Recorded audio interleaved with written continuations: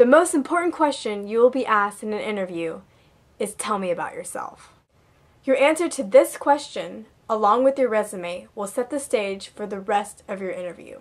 This is your chance to create a good impression that will make the rest of your interview go smoothly. Now, don't freak out yet because you haven't lost the battle before you've even started, because this is probably one of the easiest questions to answer as well. Some key things to note when answering this question 1. Be chronological. 2. Always link each phase of your life to the next. You may have to play a little Connect 4 to connect the dots one to the other, but find that connection, find that link. I promise you it is there. And 3. I think it's best if you try to make it easier on your interviewer and try to fill in all the gaps in your resume for them. You have to waterproof your house a little, fill in some of those cavities, and answer all the questions that you think your interviewer would have when they look at your resume. For me, on my resume, you would see that I went to a math and science high school, and then I worked in the lab, I did my undergrad in science, I did my master's in business and finance, my first experience was in IT consulting, which then became procurement, and then now I'm doing procurement.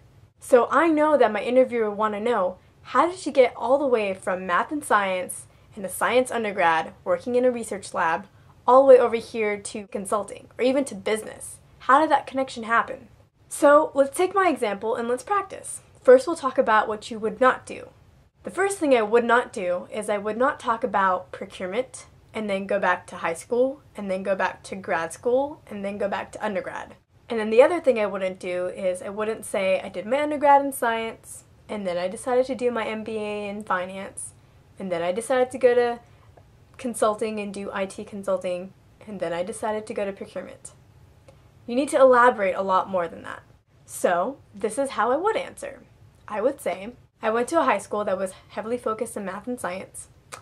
We were highly encouraged to do scientific research in the summer. I got a scholarship. I worked in a lab at a particular university. Loved the lab, loved science. I decided that I would pursue my undergraduate degree in science and work in the same lab. So naturally, that led me to go to this particular university. At this university, I love working in the lab. I thought it was great. I loved my major. I still love my major. But what I really, you know, I was starting to look back at my career and I was trying to reflect, you know, what do I really want to do for the rest of my life? Do I want to be an academic? Do I want to do research for the rest of my life? And so I really thought about it and I realized that it wasn't so much the research, it wasn't so much the science that I liked, it was really more the managing, the training people, the planning, the strategy of how am I going to do this next experiment, the looking at the data and analyzing and figuring out what it means, interpreting it. And that led me to to do my MBA in finance because I felt like it was much more business oriented and it was really just the strategy and the planning and the management of everything. And so it was a very natural transition for me to go ahead and do my MBA. I decided to do it in finance because I wanted to pull up that math and science, the quantitative skills that I had from high school. I wanted to pull up the quantitative skills that I really liked about science from all the analysis of the data. And so naturally for me, finance was the best decision. Once I graduated with my MBA, I had an offer from a consulting firm and it was in an IT field. I wasn't really interested in IT. I was actually more interested in finance because that's what I've been doing my concentration in. I mentioned this and they said, we'll move you to finance. And that was great. I was fine with it. I thought this would be a great opportunity for me to learn something that I was not aware of and hey, maybe I would like IT too.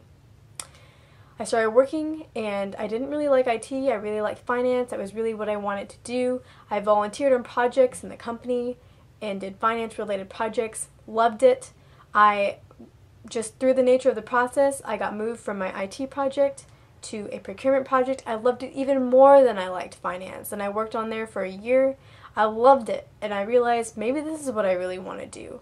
I'm enjoying what I'm doing full time even more than what I'm doing on on the side volunteering, even more than my finance project on the side.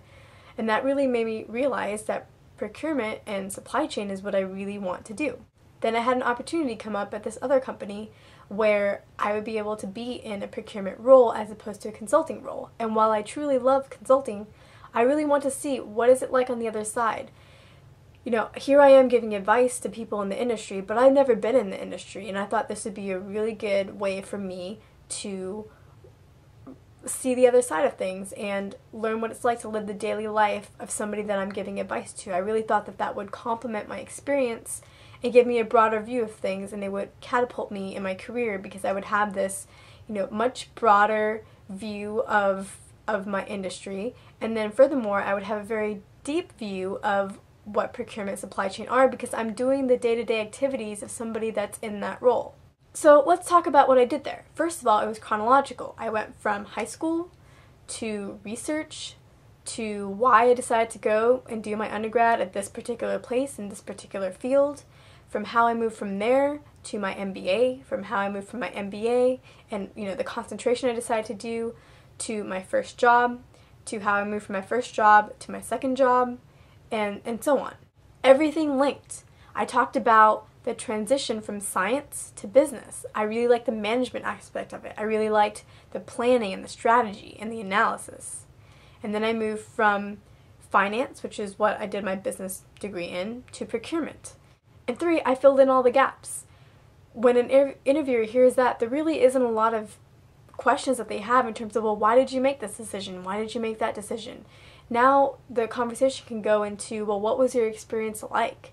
Give me an example of when you manage people. Give me an example of when you have to deal with conflicts. Give me an example of when you did a serious, in-depth analysis. Now my interviewers have a very clear understanding of why I made the decisions that I did because that no career is going to be so perfect that you're always following the same path because we're always changing, we always want to try new things. We're basically exploring and this is the time to do that. But in an interview, it's not the place to say, well, I thought I would try this and I thought I would try that. It's the place where you have to explain that there was some method to your madness. Whether or not there was actually method to your madness, you have to find that link, and it is there, I promise you. So just take the time to find the link, and I promise it will help your interview so much. That's my advice for how to answer the question, tell me about yourself. If you have any questions about that, you know, send me a comment, send me a note, um, and I'll post another video on it or I'll respond. Um, and until then, talk to you next time.